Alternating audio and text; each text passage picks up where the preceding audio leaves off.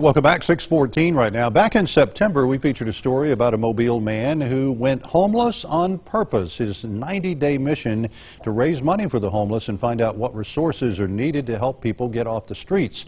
He completed his journey December 31st and is now preparing to donate the money he raised to a local group that builds shelters for the homeless. WKRG News 5 Shimani Baker caught up with him and joins us live now with more on his unusual way to help the down and out in our community. Good morning, Shimani. Good morning, Bill. Well, after after three months of living in odd places under uncomfortable weather conditions, meeting people from all walks of life, Eric Overstreet has completed his homeless on purpose journey. Overstreet spent his first 40 days living under a bridge on I-65 and Highway 90, and then he moved into a tent for the rest of his journey. Overstreet says majority of the people he encountered had mental illnesses, some of which were running away from abusive situations or had just fallen on bad times.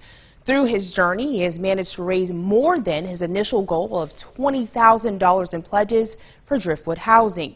He also contributed to opening a shelter that provided many homeless people with a secure place to sleep.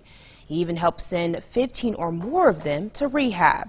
Overstreet believes the solution to ending the ongoing homelessness issue is by first having some compassion for others. I wanted to put a face on these people and let people see that they are normal people just like me and you. Every single story is different. I found that out. They're not even similar. Like every story is different. Every person's situation is different.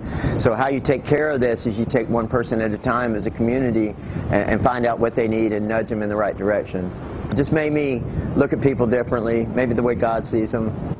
Overstreet says even though his homeless on purpose journey has come to an end, his journey of helping people will never stop. He wants to continue getting people off the street and help open more shelters. He also plans to write a book about his experience in the near future.